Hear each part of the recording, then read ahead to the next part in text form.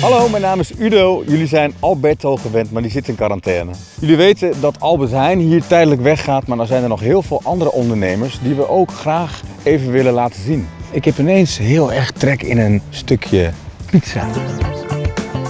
Ik heb gehoord dat jullie de beste pizzeria van de Achterhoek zijn. Ik durf vanuit de recensies uh, durf ik te beweren dat wij toch wel een van de beste pizzeria's hebben. En, uh, wij maken originele Italiaanse pizza's. Met nieuwe ontwikkeling, ja, dan kan ik niet een betere locatie wensen dan Bongert.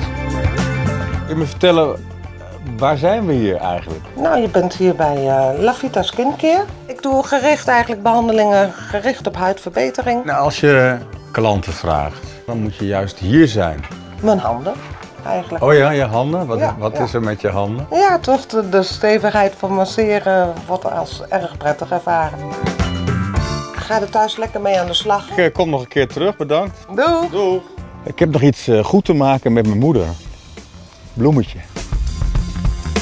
Wat vind je het mooiste aan het hebben van deze, deze winkel? Sowieso dat je de mensen toch vaak een plezier doet. En de mensen vaak met een, eh, een, een lach de winkel uitgaan. Ook juist in deze tijd uh, kun je elkaar niet altijd evenveel zien. Nee. En uh, ja, met bezorgen maak je toch ook wel erg leuke dingen mee. Uh. Genoeg ondernemerschap hebben we gezien bij de Bonger. Albert Heijn komt daar straks ook weer terug.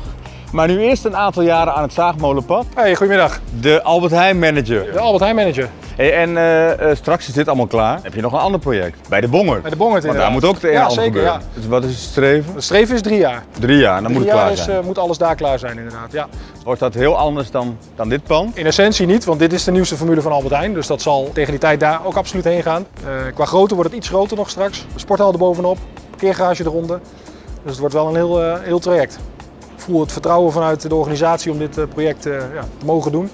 En, uh, dat zie je ook als een eer dus. Ik zie het als een eer ja. inderdaad. Ja, ja, uiteindelijk is onze franchiseorganisatie toch begonnen in uh, ja, Doetinchem-Didam, in deze regio. En is dit wel een mooi traject waar al tientallen jaren voor geknokt is.